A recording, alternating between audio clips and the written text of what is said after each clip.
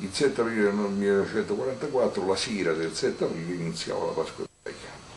Oh, tra l'altro mia nonna, quando era eh, ospite nella casa del portiere, eh, un giorno si sentì male e, e mio padre con un fratello lo portò, la portò all'ospedale del Vittorio, si chiamava allora, adesso si chiama ospedale San Camillo, fu ricoverata, non fecero assolutamente nessuna eccezione, poi però purtroppo dopo pochi giorni è venuta a mancare.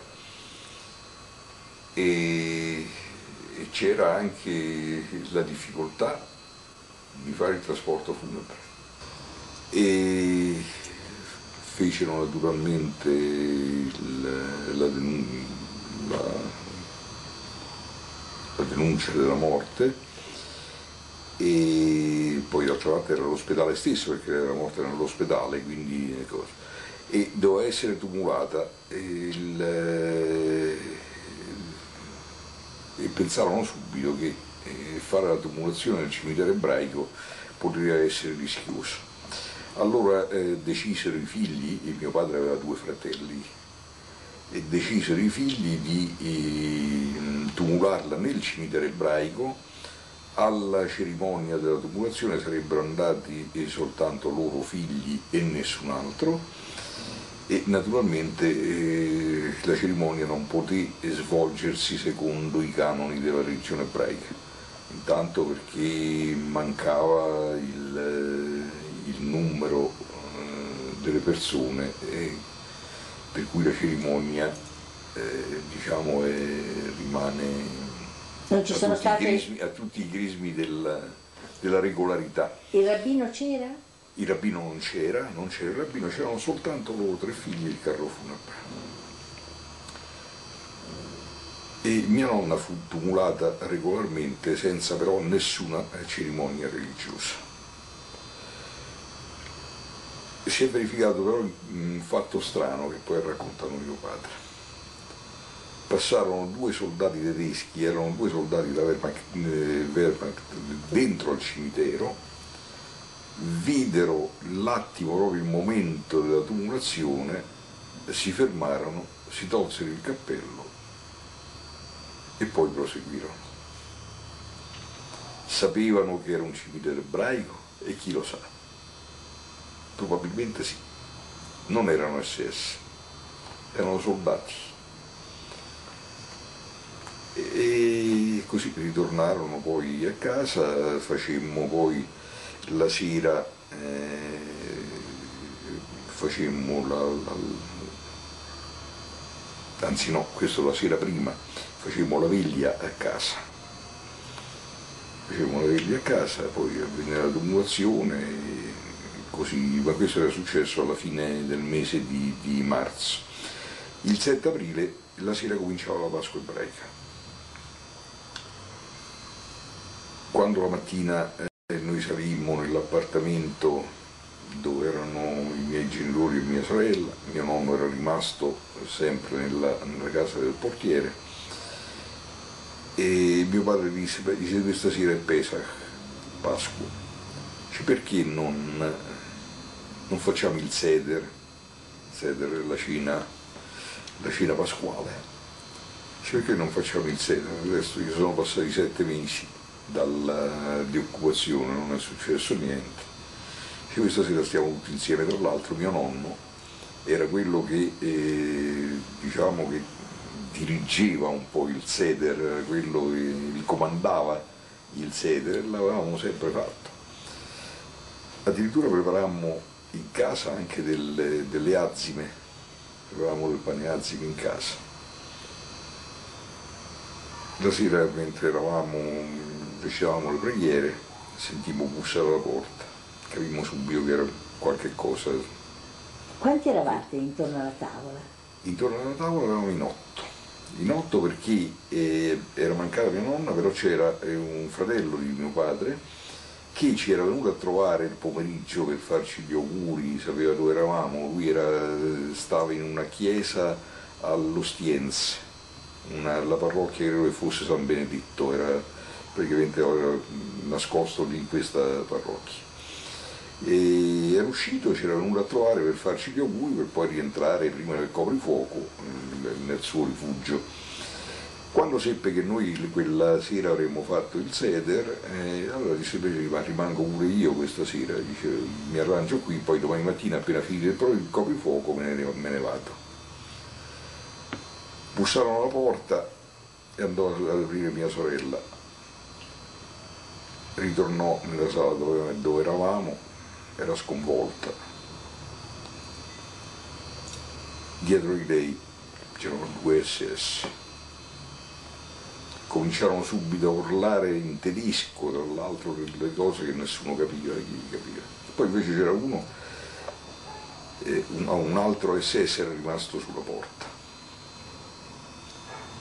c'era uno che parlava perfettamente l'italiano, quindi tutta quella scena del, di urlare in tedesco era proprio per, per intimorirci.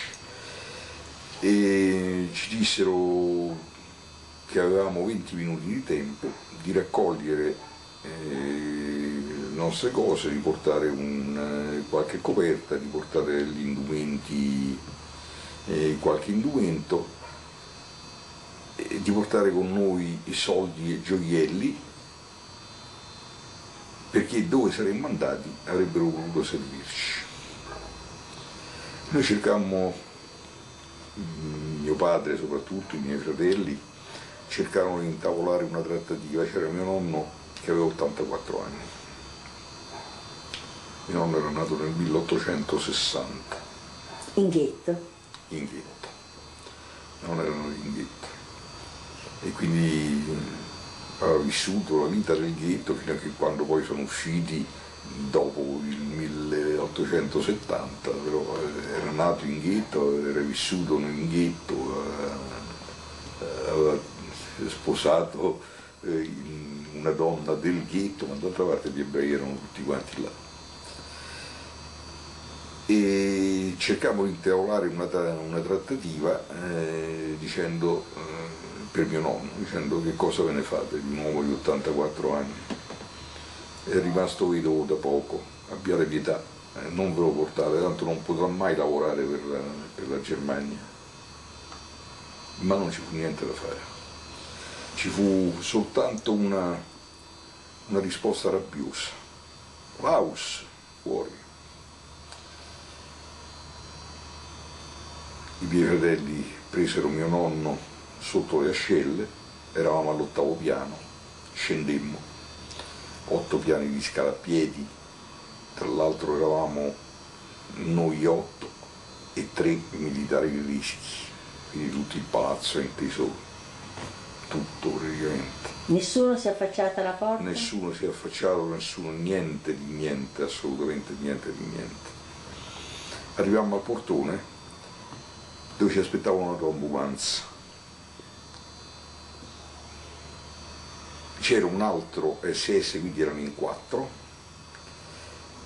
adesso non ricordo però se uno dei quattro faceva anche d'autista o se eh, era in più un autista, adesso questo non, sinceramente non me lo ricordo.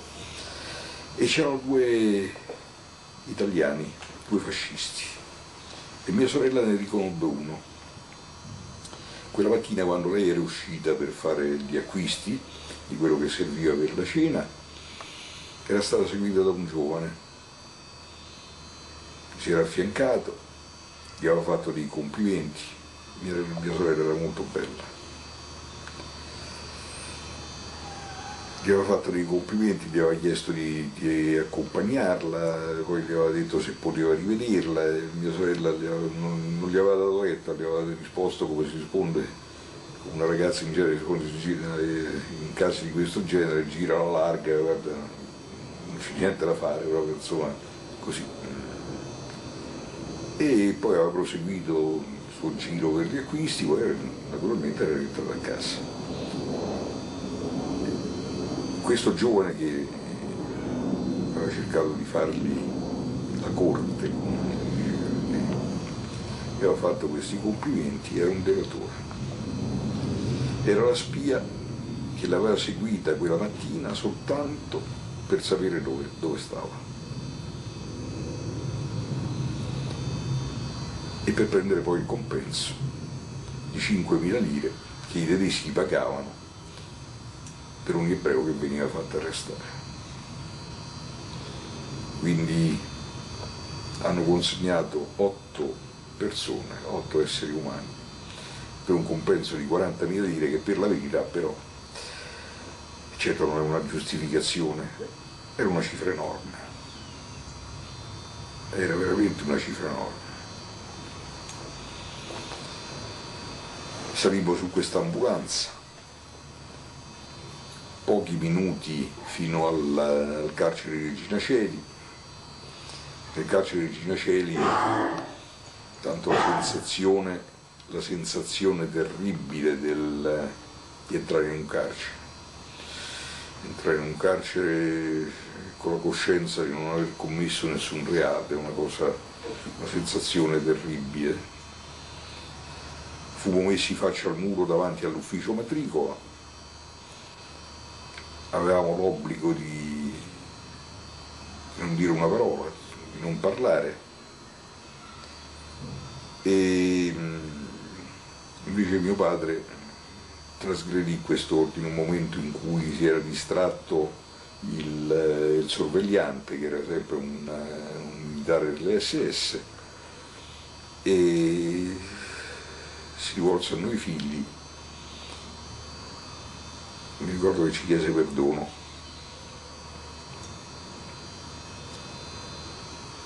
E poi, poi aggiunse però evidentemente aveva avuto l'esatta percezione del, dell'abisso nel quale stavamo sprofondando e dei rischi maggiori ai quali stavamo andando incontro.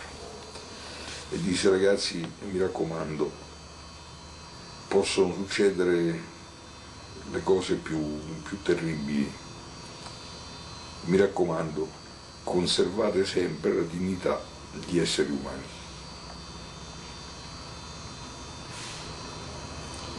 Poi fummo messi in una cella, io insieme a mio padre, mio padre non, non mi abbandonava un momento perché ero il più piccolo, pensava che fossi quello che aveva più bisogno di protezione. Io e mio padre fummo messi in una cella dove c'erano altri tre detenuti. Devo dire che questi tre uomini, tre giovani, almeno due erano giovani, uno era un po' più anziano, non so per quale motivo stessero in carcere e poi hanno raccontato qualche cosa, ma furono meravigliosi. Appena entrati cercarono, era notte, ormai era notte quando, entrammo in cella, e ci avevano buttato lì dei pagliericci in terra, ma non c'entravano perché cinque persone in una cella non, non c'entrano. E allora questi questi tre uomini cercarono di, di, di, stringersi, di farsi da parte, di lasciare più spazio per noi, avevano capito che era una situazione assolutamente anormale. D'altra parte pure loro eh, qualche cosa su quella che, che, sarebbe stata la sorte degli ebrei eh, in parte la conoscevano, la conoscevano perché? perché pochi giorni prima del nostro arresto c'era stato l'eccidio delle fosse ardeatine. Anche fuori si sapeva che c'era stata la rappresaglia, tanto è vero che anche i giornali hanno pubblicato l'ordine a stare seguito, però non si sapeva né il numero delle persone, non si conoscevano i particolari, non si conosceva come, dove, eccetera. Ma a Regina Celi invece si, si sapeva molto di più. Evidentemente qualche tedesco di ritorno dalle, dalle fosse ardeatine devo aver parlato e la voce, mm, non so per quale strano mistero, nel carcere si propaga con una velocità impressionante, qualsiasi cosa. E quindi nel carcere si sapeva, si sapeva che tutti quelli che erano usciti il 24 marzo dal, dalle celle sapevano perfettamente tutti la fine che avevano fatto. Devo dire che, eh, che questi tre uomini erano, sono stati, stati meravigliosi. Ricevevano dei pacchi da casa e, e quello che c'era era per tutti. Loro andavano, eh, andavano al, per l'ora d'aria, ma noi non, per noi non c'era questo diritto. Neppure l'ora d'aria veniva concesso a noi. Dovevate rimanere sempre in cella. Dovevamo rimanere sempre in cella, soltanto aprivano per brevi momenti e guardati a vista, aprivano la cella e si poteva soltanto camminare per pochi minuti sul ballatoio. Questo era tutto quello che ci veniva concesso. Eh, so che poi i miei fratelli eh, fecero la richiesta di fare un bagno, una doccia e gli fu concesso. Fecero, so che loro fecero, fecero la doccia. Ma questo è tutto. Siete riusciti a vedere i fratelli e il nonno durante la permanenza a Regina Celi? No, durante la permanenza a Regina Celi no, ma la permanenza a Regina Celi è stata brevissima, in pratica è stata soltanto di quattro giorni e quindi li ho rivisti nel momento in cui, in cui ci hanno chiamato per, eh, per essere poi portati al, a Fossoli.